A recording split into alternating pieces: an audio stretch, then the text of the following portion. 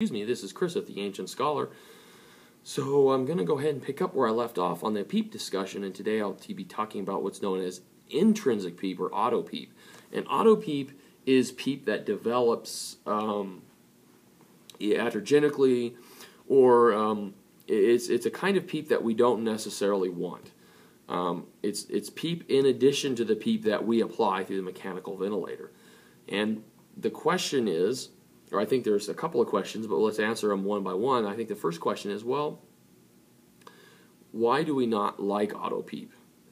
Uh, PEEP is good, right? PEEP increases oxygenation and uh, decreases work of breathing. And hopefully you'd recognize from the last video that yes, PEEP can do that, but PEEP can also cause significant hemodynamic um, consequences in addition to you know, increasing airway pressures and increasing your risk for injury. So PEEP can be a good thing when applied properly. But when we develop this intrinsic PEEP, this is PEEP that we don't necessarily have control over, and this can be very harmful. And at some point, um, if I have too much PEEP, my work of breathing is actually to going to get worse. It's going to increase um, because I may have over distended alveoli, and then to actually move air in and out of the lungs, I'm going to have to distend them even more. So that can actually lead to a situation where I have increased work of breathing. The the Young Laplace equation that I talked about in the last video um, is relevant, but it's only it only works to a point. I can only make my alveoli so big um, before I get to the what I would call the point of diminishing returns. So let's talk. Uh, so so those are some of the the consequences of auto PEEP. Um, and we'll talk about a couple of more uh, consequences as, as we talk as we go further into this discussion. So let's talk about how we develop auto PEEP. Auto PEEP is is is really the result of um, air not being able to get out of the lungs, or what we call air trapping. Um, lots of things can lead to air trapping. Uh, obstructive conditions are very um, likely causes of auto PEEP. So any of your obstructive disorders, COPD, for example. This, this would include things like cystic fibrosis, bronchiectasis, chronic bronchitis, um, emphysema, and even, even asthma, bronchospasm. It can also, uh, other obstructions could be uh, mucus plugs, uh, secretions, a, a, very small endotracheal tube, swelling of, of the airways perhaps. Um, lots of different things anything that leads to the obstruction of airflow or, or, increased resistance. There are also some other things that can lead to auto PEEP or uh, what we call intrinsic PEEP. And this would include things like a fast respiratory rate. Say somebody is in assist control and they're hyperventilating. If I'm hyperventilating, I'm breathing very quickly, ventilating um, uh, over efficiently, if you want to look at it that way what this can lead to is this can lead to decreased amount of time that I spend exhaling.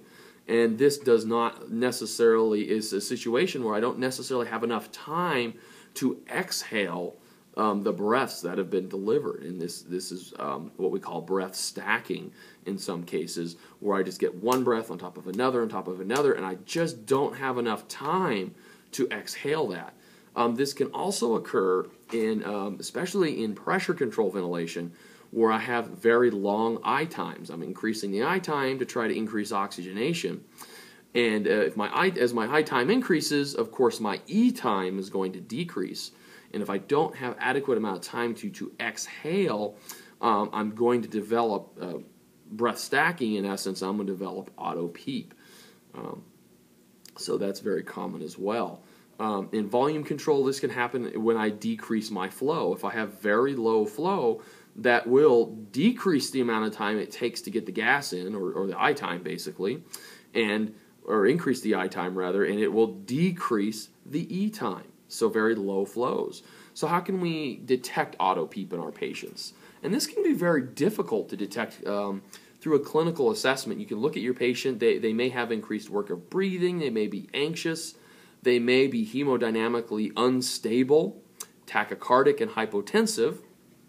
Um, but generally, you know, our, our, our patients are generally going to be acutely ill, and there may be other causes of hypotension and tachycardia on, uh, and our, our list of differential diagnoses may be quite long. So let's talk about some of the, the quick and common ways that we can assess it on a ventilator. And one of the things that I like to use is I like to use the flow time scalar. And if you look at it, what it does is it compares the flow of gas in and out of the lungs to time.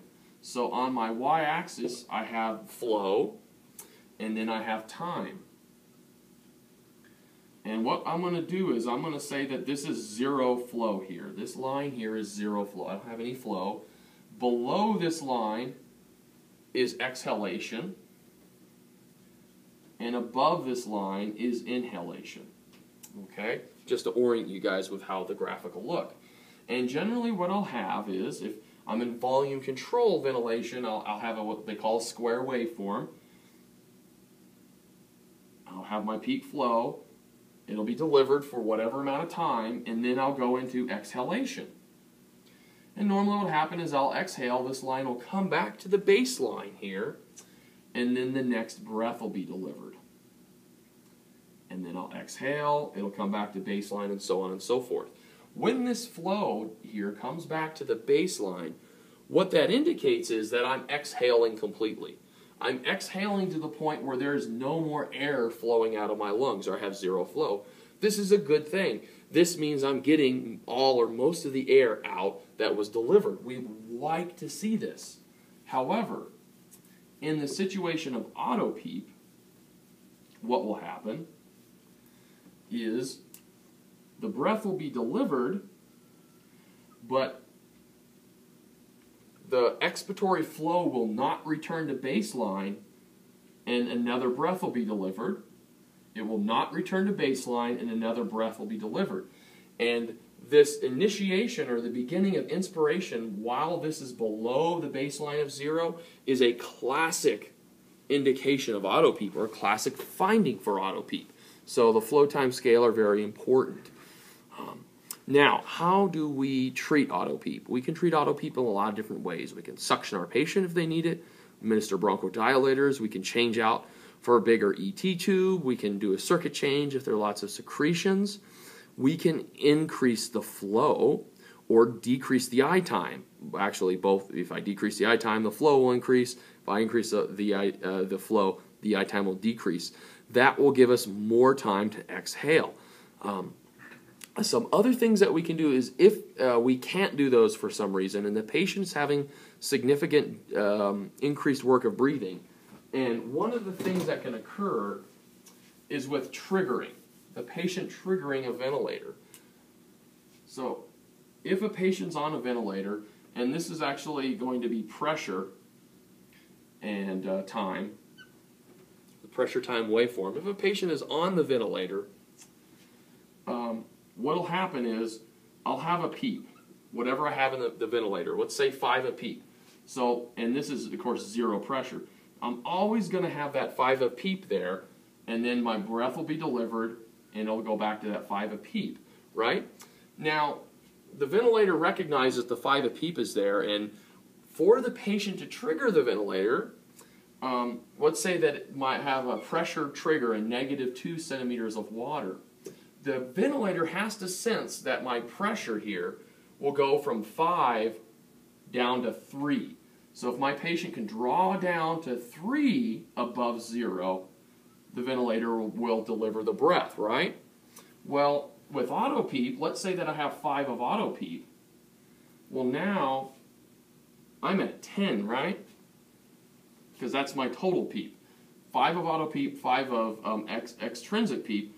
Now for the patient to trigger the ventilator, I have to draw down, and my settings at negative 2, I have to draw down all the way back to 5 and then back to 2. So I actually have to draw down negative 7 instead of negative 2 because the ventilator doesn't necessarily recognize the auto PEEP.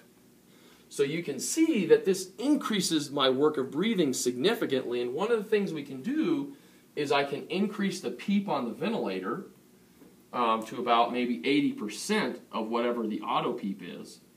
Maybe I can increase the PEEP to 8, and that will make it easier to trigger. Now we need to do that very carefully And I think the optimal approach would still be to take care of the underlying auto peep.